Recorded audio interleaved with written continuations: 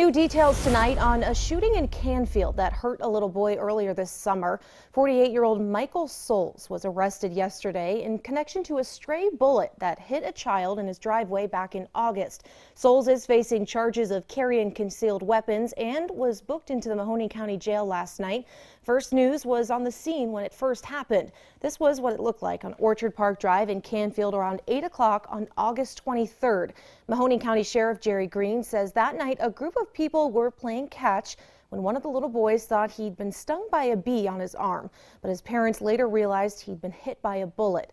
He was taken to the hospital where he recovered from his injuries, and Greene says they are still investigating if Michael Soles was the one who fired that shot.